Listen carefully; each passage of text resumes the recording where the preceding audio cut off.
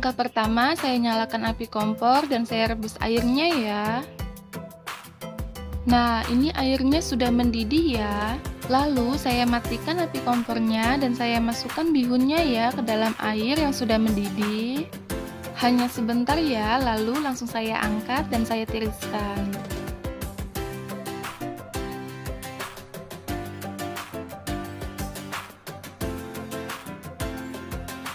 Lalu bihunnya akan saya tambahkan dengan kecap manis. Saya masukkan minyak goreng terlebih dahulu ya, agar tidak lengket. Lalu saya masukkan kecap manis secukupnya. Saya masukkan bihunnya, lalu saya aduk sampai bihun dan kecap manisnya tercampur rata ya. Saya tambahkan lagi kecap manis secukupnya.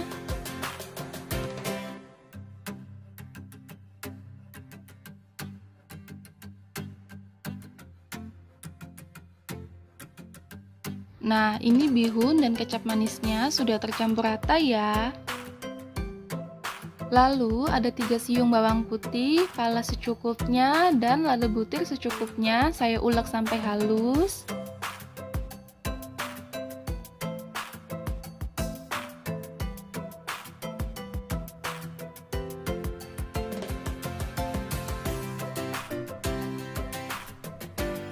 Nah, ini bumbunya sudah halus ya. Jika bumbunya sudah halus, lalu saya panaskan minyak goreng sebanyak 4 sendok makan atau secukupnya.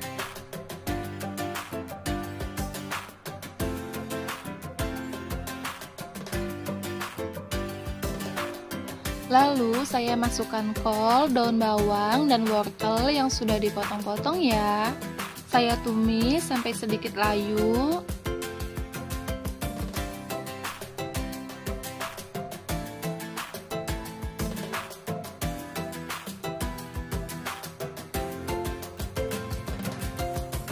Lalu saya masukkan telur sebanyak dua butir.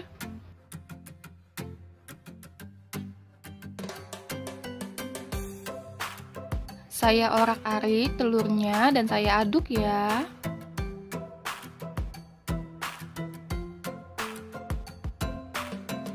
Saya masukkan juga 10 buah bakso yang sudah dipotong-potong, lalu saya aduk dan saya masak sampai matang.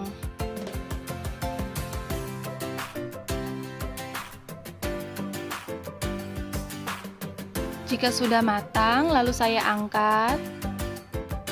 Saya masukkan minyak goreng sebanyak 3 sendok makan atau secukupnya ya.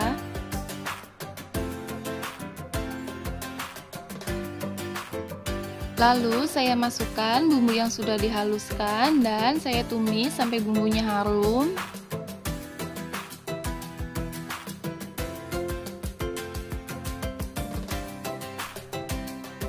Ini bumbunya sudah harum ya, lalu saya masukkan air secukupnya, secara bertahap ya.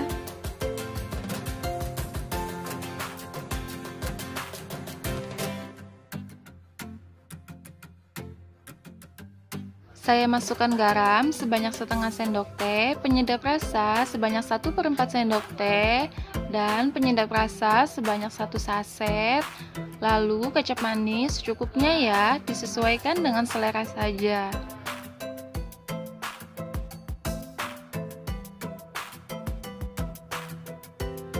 Saya tambahkan air lagi secukupnya.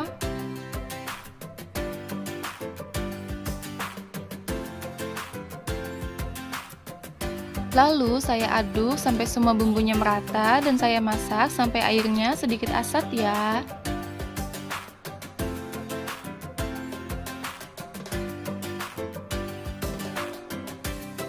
Nah, ini bumbunya sudah sedikit asat ya, lalu saya masukkan bihunnya dan sayuran serta telur dan baksonya.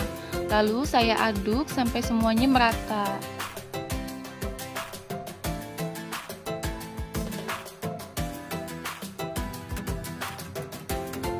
Nah, ini bihun gorengnya sudah tercampur rata ya. Lalu saya akan membuat sambalnya. Saya akan membuat sambal kacang. Untuk sambal kacangnya, ada kacang tanah matang sebanyak 100 gram, ada cabai merah sebanyak 8 buah, cabai rawit 10 buah dan sudah direbus ya. Lalu ada gula merah, terasi, dan garam secukupnya. Saya ulek sampai halus.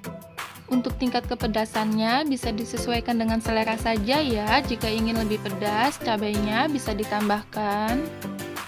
Lalu saya tambahkan air secukupnya agar lebih mudah untuk menghaluskannya.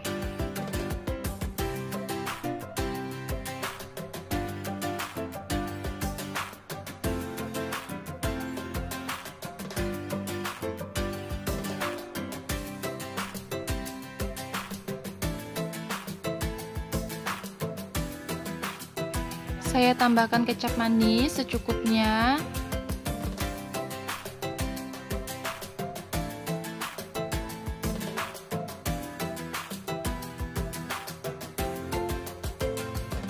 Nah, ini sambal kacangnya sudah jadi ya, lalu saya sajikan.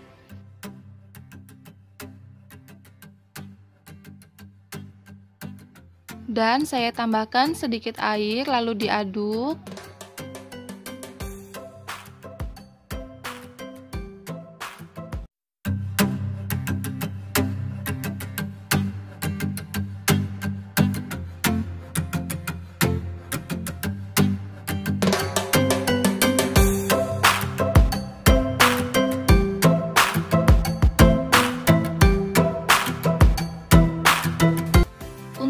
Bahan-bahannya saya menggunakan daun bawang, wortel, dan kol yang sudah saya potong-potong ya dan sudah saya cuci bersih. Lalu ada tepung terigu sebanyak 250 gram, lada bubuk sebanyak 1,5 sendok teh, ketumbar bubuk sebanyak 1,5 sendok teh, dan penyedap rasa sebanyak 1 saset ya. Lalu saya campurkan ya sayuran dengan tepung terigu, Lalu saya masukkan lada bubuk dan ketumbar bubuk.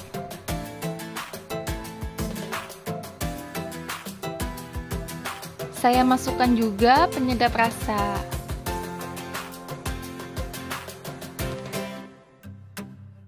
Lalu saya masukkan air ya sebanyak 250 ml secara bertahap. Lalu saya aduk sampai semuanya tercampur rata. Saya aduk sampai adonannya kekentalannya pas ya, tidak keenceran.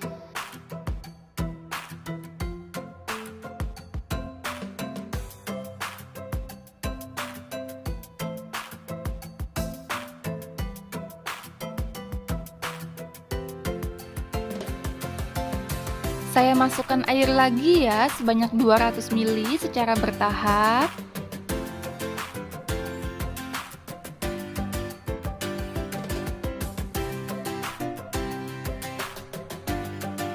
Nah, ini adonannya sudah jadi ya. Lalu saya panaskan minyak goreng secukupnya.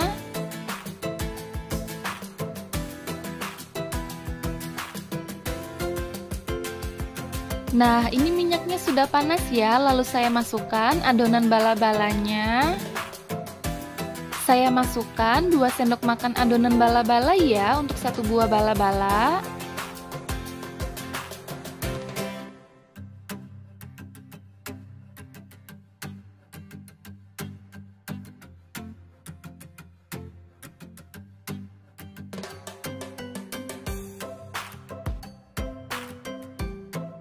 Lalu saya masak sampai bala-balanya matang atau sampai warnanya kecoklatan ya.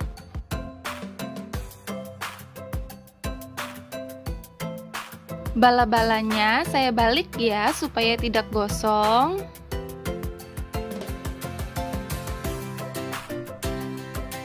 Nah, ini bala-balanya sudah matang ya dan warnanya juga sudah kecoklatan.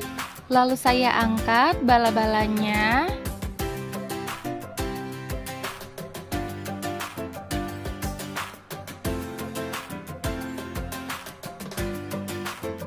Bala-bala siap untuk disajikan.